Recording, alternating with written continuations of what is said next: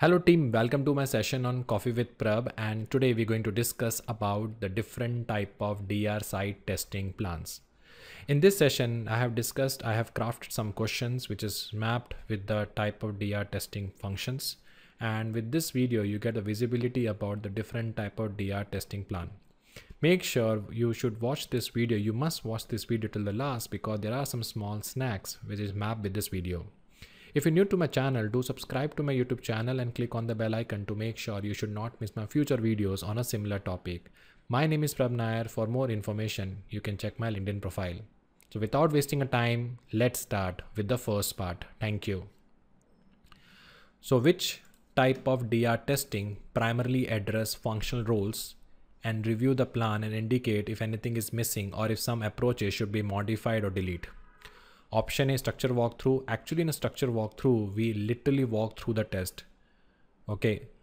To make sure everything is correct. Example like this is basically the plan we have. So we have a DR coordinator. We are basically having a discussion. Okay. After distributing the plan to everyone and check whether everything is okay, DR coordinator will read the plan and walk through the entire plan to give them idea. That is called as a structure walkthrough.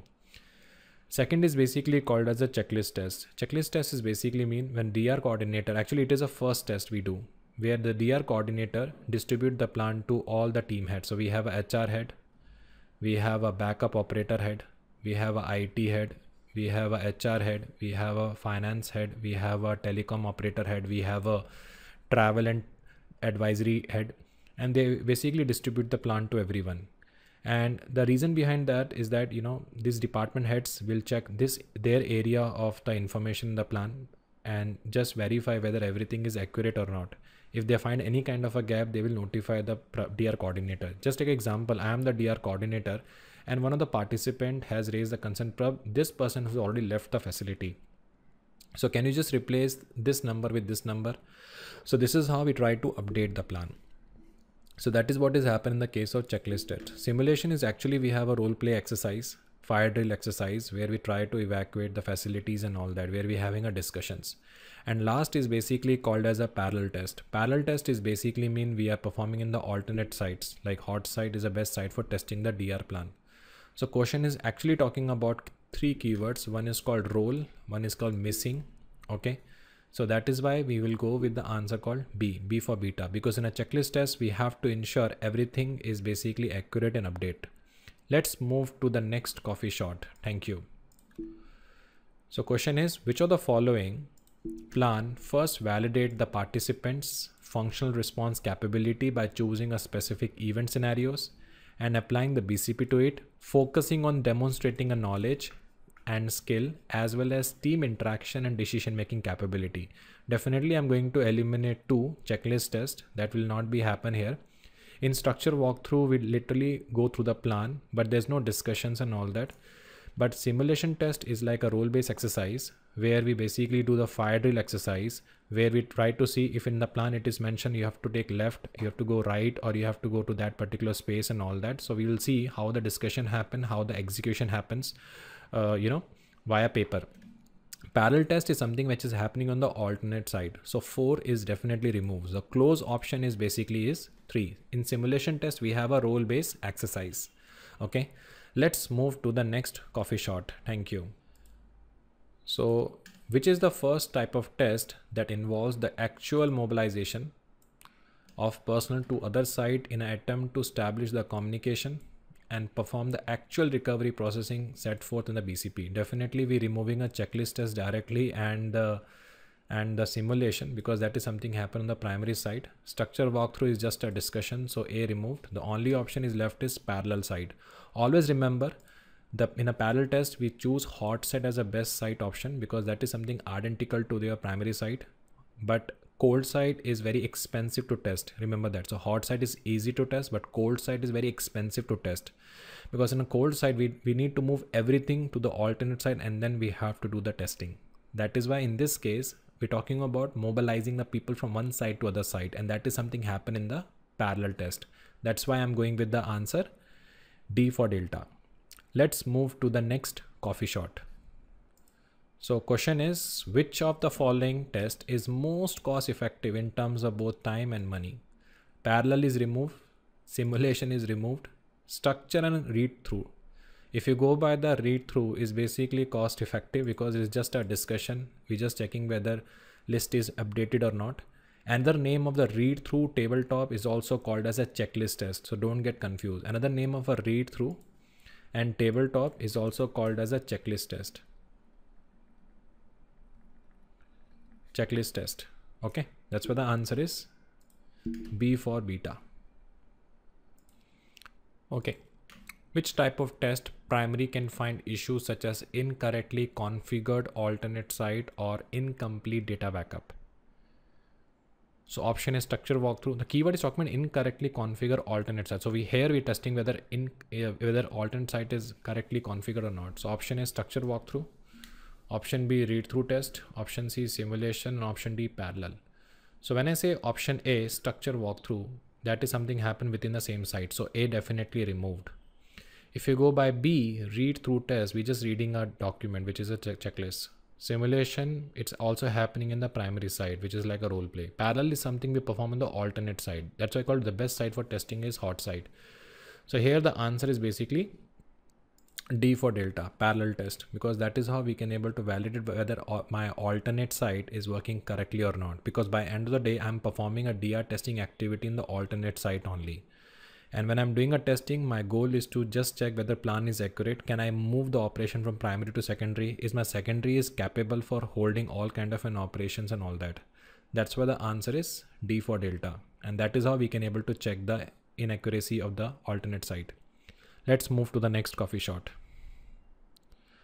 Which type of testing DR plan is most effective for checking the resilience of an organization? Definitely structure walkthrough is not an option. Read through by just reading a plan, you cannot check the resiliency because resiliency is all about checking the absorption of the failure. How capable they are to handle the disruption or continue the services. So this is also removed. Simulation is basically removed because that is more like a role play exercise. Full interruption we perform on the primary site. Okay, where we inform the management, inform the customer, and then we shut down the servers and see whether we can able to restore in the define MTD. Okay, that's why the answer is basically D for delta, full interruption test. That is only the close option we have, which we perform on the primary site. Let's move to the next coffee shot. Which type of testing DR plan is most intrusive to a regular operation and business productivity? Intrusive is basically most impactful. A, B, C definitely removed. the only is basically full interruption because full interruption we perform on the primary site. Because if I say we have a site one and we have a site two. So everything is basically operate from a site one. Okay, example. So we performing a structure walkthrough in a site one. We do the read walkthrough in a site one. We do the simulation on a site one. Parallel then we do on the alternate side where we're testing a DR plan. The best site is called as a hot site for testing a DR plan. If the plan is effective and accurate, then we perform on the primary side where we shut down the server and see can we able to restore in the server one. So when you're doing such kind of a thing, it's more intrusive and it will definitely impact my business productivity and all that. That's why the close option is basically D for delta. Okay. So let's go with the next coffee shot. Which of the following is the most cost effective and process efficient way to keep the plan up to date is to incorporate in the organization. See, when it comes to the patch management, patch management is a only one-time activity, like deploying the patches and work is done. Configuration management is all about, all about managing a configuration. Change management is all about tracking the changes. And incident management is all about reduce the impact. Question talking most cost effective and process efficient. See, when we're doing a DR testing and all that, any kind of a gap we identify even in the configuration, but in order to update the configuration, we need a change management process because through the change management only we track and update the changes in the BCP and DR plan. Even when you're deploying the patches, they lead to the change in the configuration and that change in the configuration need to go through a change management process. And if there is an incident management, incident deal with the incident, we reduce the impact, we altering some configuration. Again, we need to raise the request for change. So the close option is basically C for Charlie. So when we're doing a testing of the DR plan, any kind of a gap we identify in the plan and uh, everything. So by the change management request, we basically update the plan. That is why the answer is C. So let's have some snacks. Okay, so let's discuss about the snacks. which is a summary of this coffee shot. If you can see the tabletop, okay, exercise, it is also called as a read through exercise. As I said, DR coordinator distribute the plan to everyone and make them aware about the plan. Check if everything is updated. Details are not mismatch and everything whatever is basically defined, it will be verified by the respective stakeholder. As I said, example like there is a travel team and there is a one person who take care of the travel part they check in the list they found the old name was mentioned so they have raised the concern please update the new name. So by this kind of an exercise we try to update the plan. So that is something happened in the tabletop exercise. Then second is called as a walkthrough drill. Walkthrough drill is like we using a specific event scenario. Let's let's okay we have now plan in place okay? Let's have a discussion how this plan is going to execute. Suppose you are a backup coordinator i am a system operator we have to execute how are we going to execute? So that discussions happening in a walkthrough. Because in a first first task we just checking whether plan having a accurate details but in the second part which is called as a walkthrough drill we are actually executing uh, the activity within the cabin. Okay suppose you are a dr coordinator you are the system administrator. Let's see how we going to execute the plan so that is something is part of a walkthrough drill. Once we're done with that, we actually perform a simulation.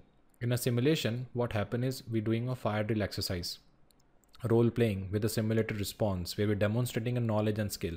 Thin line difference between the walkthrough and simulation is walkthrough, DR coordinator walk through the plan, like uh, imagination scenarios and all that, but simulation is practically we're trying to validate the plan. Example, if in the plan it is mentioned seven step next we have a left uh, door and all that we will execute we'll see the seven step do we have a door or not. Okay and uh, drill exercise when we're talking about drill exercise fire drill is a part of a simulation. Next is basically called as a parallel. So we have a site one and we have a site two. So we go to the alternate site and there we basically perform the dr activity. Okay so ideally the best site is basically the hot site and expensive is basically cold site. That's why the alternate site is mentioned first mobilization initiatives. Ideally best site is a hot site, cold site is expensive to test. But one concern is that some employees are moving to the alternate site, so it impact the productivity. And another reason of doing this parallel test is to just check whether my alternate site has a educate configuration. Because tomorrow, if I want to migrate in the case of disaster, they should be educate. The site should be educate. And once we done the testing there, we do the testing in the primary site that is called as a full interruption it is basically um, we perform one time in a year. It is one of the comprehensive type of test high cost and there is a potential for disrupting the normal operations. So remember something in parallel side we have a uh, disruption simulation we have a small level of productivity impact because during a disaster we we call as a fire drill exercise some employee will leave the space and all that so simulation also have a so productivity impact start from simulation actually because people are leaving the building. Then we have a more impact in parallel and then we have a high impact in the full interruption. So summary is that the first part is tabletop. We read the plan, walk through. I'm going to dictate the plan. I'm going to explain the plan, how this plan is going to work. Simulation is we have a fire drill exercise, role play exercise. Then we have a parallel test. We go to the alternate side. There we're doing a testing. And finally, we have a full interruption test, which we perform on the primary side. So this is all from my side. If you find this session useful, do let me know in the comment box. Do let me know what is the next video shall I make. I'm happy to receive your feedbacks by which I try to improve my training. And if you're still new to my subscriber list, please subscribe to my YouTube channel and click on the bell icon to make sure you should not miss my future videos on a similar topic. This is Prabh. Thank you for watching my video. Bye.